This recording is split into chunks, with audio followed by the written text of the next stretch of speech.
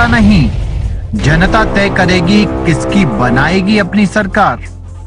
चुनाव से पहले चुनाव की बात।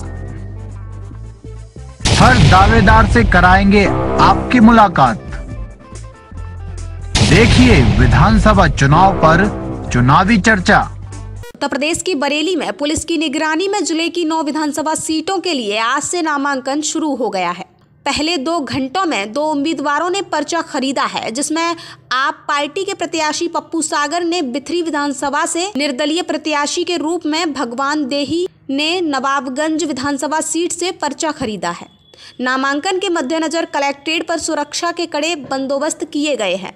ज़िले के आला पुलिस अधिकारी नामांकन पर अपनी नज़र बनाए हुए हैं। बता दें आपको कि बीते दिन डीएम मानवेंद्र सिंह और एसएसपी ने संयुक्त रूप से कलेक्ट्रेट परिसर का निरीक्षण किया। निरीक्षण के दौरान एसएसपी डीएम ने एक एक करके सभी बूथ का निरीक्षण किया था। हालाँकि माना यह भी जा रहा है कि नामांकन के पहले ही दिन मुख्य राजनीतिक दल के उम्मीदवार नामांकन नहीं कराएँगे लेकिन निर्दलीय उम्मीदवार नामांकन के लिए आ सकते हैं। पप्पू सागर है। आज आप क्या मतलब पर्चा लेने आए हैं? पर्चा लेने आए हैं। एक सौ तेईस विधानसभा बिथरी से अच्छा। कैसे क्या क्या आपको इंतज़ाम लगे यहाँ पे जो इंतज़ाम बहुत अच्छा इंतज़ाम लगा सबको लेके और अच्छा छोड़ने का सबको इंतज़ाम अच्छा लगा यहाँ।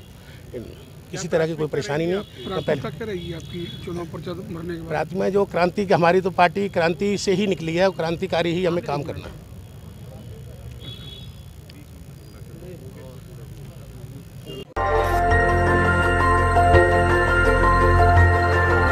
देखते रहिए डीबी भारती समाचार।